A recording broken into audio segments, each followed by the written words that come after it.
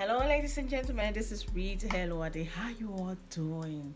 Uh, this is my first time on this platform this year. I hope the new year met you well. Really, how you doing? Uh, with the pandemic and everything that's been happening, I hope you all are keeping safe and doing well.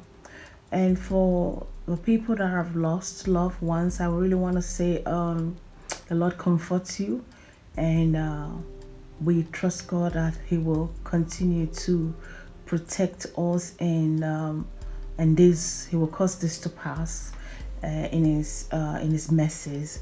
All right so um this year um it's february already and this is a time where we really have our uh, um, celebration of love and laughter which is the annual couples event that we uh, we organize every year but unfortunately this this uh, this um february uh we've had to postpone the celebration of love and laughter. I want to shout out to all the couples that have been attending our event for the last five years.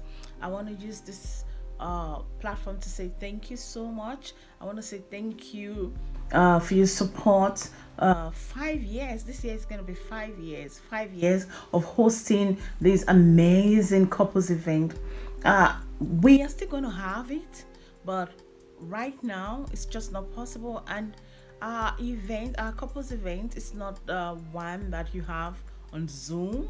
You know, the selling point of that event is you connecting, you know, having or seeing other couples doing what they do and you encourage you see other couples laugh you see other couples have fun you see uh, artists you see a performance uh, that uh, you see the the performers that come, the performance, and it's just a buzzing and lit place to be.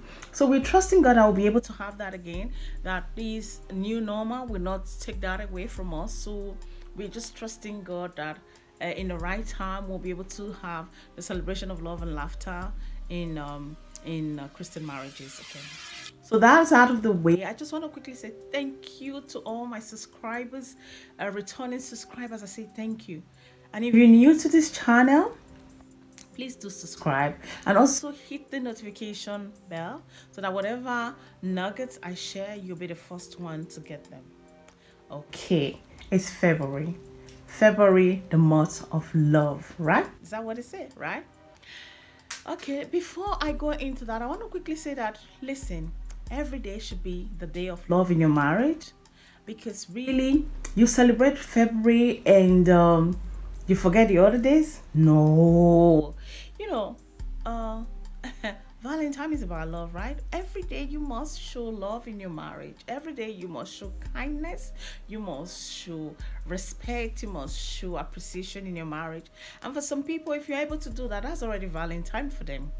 I was sharing another platform that, you know, uh, love and respect in the marriage, you know, should be every day. And if you're able to do that, your spouse is happy, you're happy, that is Valentine. What is the use of you buying the roses, the wine, the chocolates, even whatever you buy, the cars and whatever, and you don't love the person, you don't respect the person, you don't appreciate the person? So, my message today really is to let you know that, you know, Valentine is every day. You know, oh, showing love to your spouse should be every day. Respecting your spouse should be every day. Appreciating your spouse should be every day. Being kind to your spouse should be every day. Really, if we can cultivate the habit of showing these, you know, attributes, kindness, love, respect, appreciation to our spouse, I'm quite sure marriage will be a better day, uh, a better place. So please don't make Valentine a one day celebration. Don't go, just don't go rob the bank, break the bank, and buy the things your spouse like one day. Why not try buy those things that the uh, the books they like to read instead of waiting for Valentine or Christmas? You come in, you have extra change, buy the books they like to read buy the wine they like to drink, buy the chocolate they like to eat, buy the meat pie they like to eat, buy, you know, uh, whatever they like, the games like. I'm quite sure if you're able to do that, that's you just showcasing that love in your marriage. Also, you want to buy all these things, spend all this money one day, the 14th of uh, February, and yet you don't respect uh, your spouse or you're not kind to them. Why not be kind to your spouse? Why not, you know, uh, show them that kindness? You know, be a shoulder for them to just, you know, whatever cry or just, you know, a go to for support. This is a lot of spouses don't have time to be kind to one another. So I'm just saying this because you know sometimes we just think that oh we have to celebrate Valentine and just it's like um, uh, doing it and getting it done. Really? You want to do that? Maybe your spouse is having another idea of how you can show them love. You think buying those things is you showing them love? Have you taken time out to ask your spouse, sweetheart, how do you want to be loved? Have you asked your husband how he wants to be loved? Have you asked your wife how she wants to be loved? Okay. If you haven't done that, that's a very good place to start your Valentine. All right.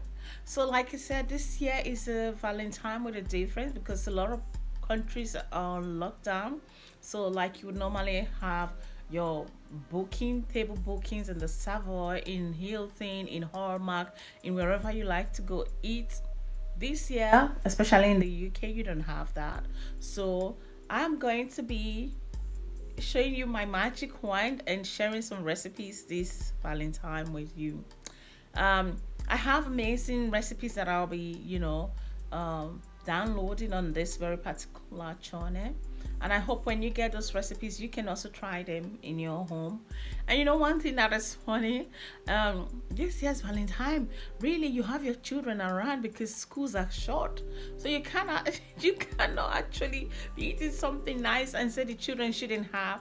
So some of the recipes i'm going to be um sharing with you this year's valentine is some of the recipes you can actually share with your kids. I have something like um stir fried octopus you know that's amazing and it's exotic.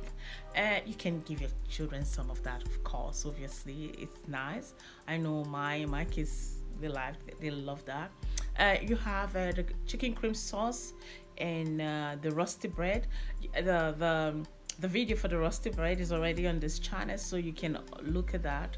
You can actually have that cream chicken uh, sauce soup with uh, any bread. So i'm going to be sharing that and all the recipes that i'm going to be putting down. So really the idea is that instead of you uh, feeling uh, left out you can just you know like like i normally do uh, go there uh, just look at my recipe and just do something quick tasty and cheap for yourself and your family uh, before i close before i go today I just want to let you know that, you know, intimacy in marriage can be enhanced when you're kind, when you're uh, respectful, when you're appreciative, and when you are just being human to your spouse.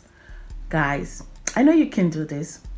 Try as much as possible to be kind to your spouse. It's very important, especially being in the same house with your spouse for 24 hours. Just few couples are working outside the home right now. So if you are locked, locked in, locked down with your spouse, try as much as possible to make it work. Make it work.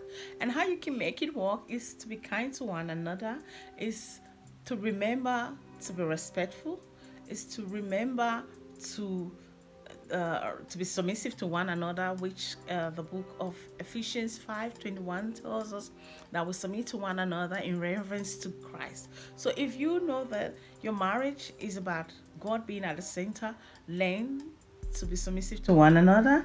Also, uh, respect one another in the marriage and be kind, and you'll see that you will be able to go through lockdown, Valentine, smiling and dusting your hair and say it was a piece of cake. I hope you like this video. If you do, um, give it thumbs up, hit the notification bell, and above all, subscribe if you haven't subscribed. Bye bye.